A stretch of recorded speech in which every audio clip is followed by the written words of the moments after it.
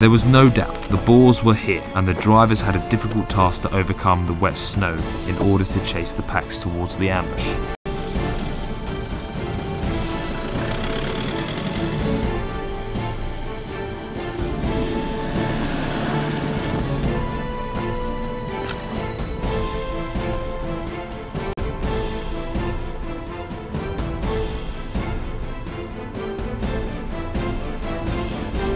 First three posts located along the way were just counter ambushes to the real line that was about to be arranged under the mountainous ridge. The plan was relatively simple. With the participation of all hunters, a total of 16 and 10 drivers, we were about to process an area of tens of square kilometers along the ridge.